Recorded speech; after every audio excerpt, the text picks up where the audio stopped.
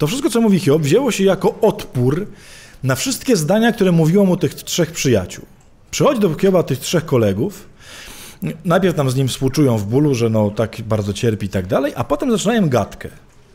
I zaczynają tłumaczyć Hiobowi, dlaczego się dzieje to, co się dzieje. I Hiob, przepraszam za wyrażenie, za cholerę nie chce tego przyjąć.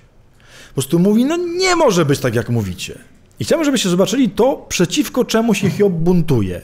Czyli co w nim rodzi ten taki moment, no nie może tak być. Dlaczego? Bo to jest, kochani, uważam, diagnoza Kościoła.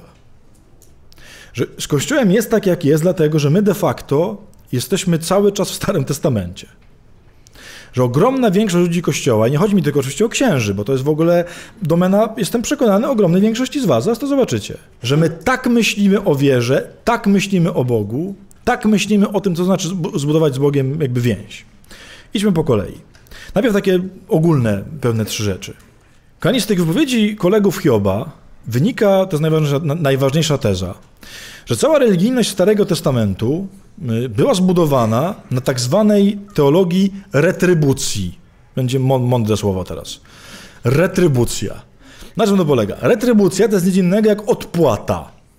Jak spojrzycie na Stary Testament, na stosunki Żydów z Bogiem, na stosunki tego, jak jest ułożone prawo żydowskie tamtego czasu, to ono w swojej istocie, nie mówię, że w każdym szczególe, ale w swoim istocie ma zasadę bardzo prostej retrybucji, czyli odpłaty, który polega na tym, że za zło jest kara, za dobro jest nagroda.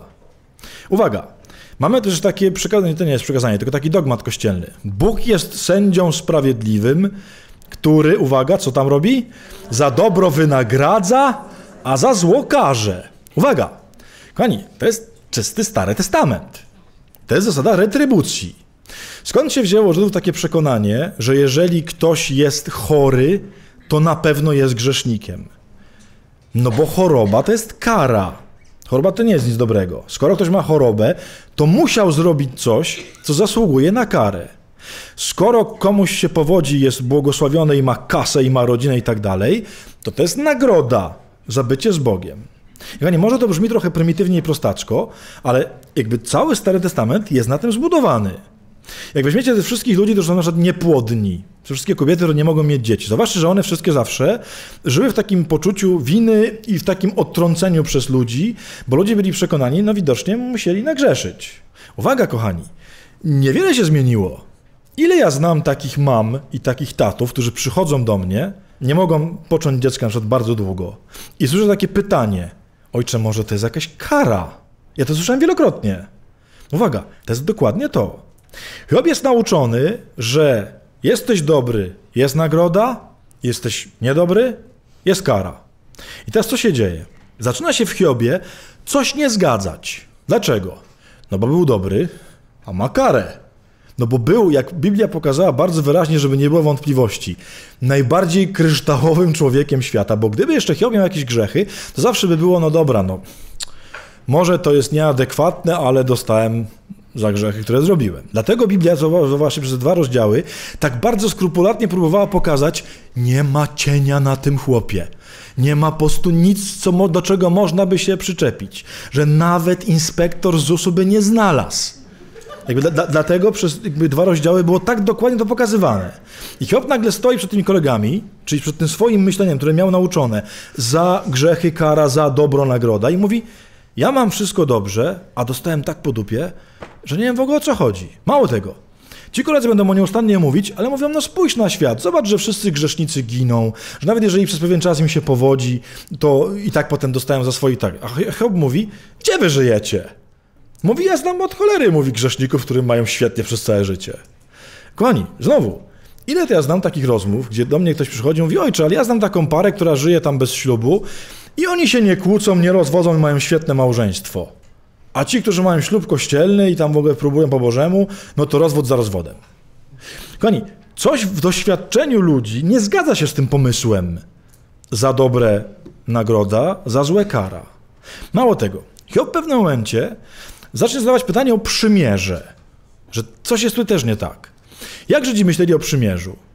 Wydaje się, że przymierze polegało na tym, kojarzycie Synaj, nie? Jak tam ten y, Mojżesz z Panem Bogiem ustala zasady, nie? że my będziemy twoim ludem, ty nam dajesz swoje prawo i tak dalej. Jak w ogóle myślicie zazwyczaj o przymierzu? No, że przymierze polega na tym, no tak to jest w biznesie albo w jakichś naszych stosunkach, to są dwie strony, które się do czegoś zobowiązują. Co nie? No jest jedna strona, która mówi, dobra, ja w tym układzie daję to i to, druga strona mówi, ja w tym układzie daję to i to. Uwaga, na czym polega małżeństwo? No też jest kontrakt, nie? Ja cię będę kochać i tak dalej, ale nie, nie tak, że ty nic, tylko ty też mnie kochasz, nie? Czyli zasadniczo przymierze polega na obustronnym zobowiązaniu. Kochani, Hiob w pewnym momencie sięga, nie będziemy czytać wszystkich fragmentów, w pewnym momencie sięga do sytuacji Abrahama i coś zaczyna mu się nie zgadzać. Pamiętacie, jak Abraham zawarł przymierze z Bogiem? Nie pamiętacie pewnie. To jest dosyć tajemnicza scena. Abraham ma taką noc. Jest bardzo ciemna noc. Bóg do niego przychodzi z obietnicą, że to jest dużo przed przymierzem z Mojżeszem, nie? Z obietnicą, że no będzie z niego wielki naród, będzie miał syna i tak dalej, i tak dalej. I mówi, zróbmy kontrakt. Na czym polega przymierze z Abrahamem? Jak pamiętacie, wziął takie zwierzęta, na pół je y, po, porozrąbywał, czyli tam pół krowy, jedna połówka, druga połówka i tak dalej.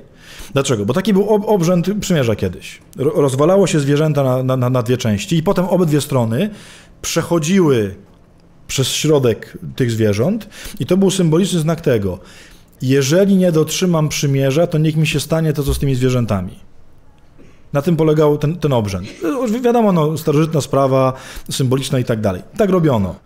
Jakbyście uważnie przeczytali fragment o przymierzu Abrahama z Bogiem, tylko Bóg przechodzi między zwierzętami. Abraham nie. Czyli Bóg się do czegoś zobowiązuje, Abraham nie.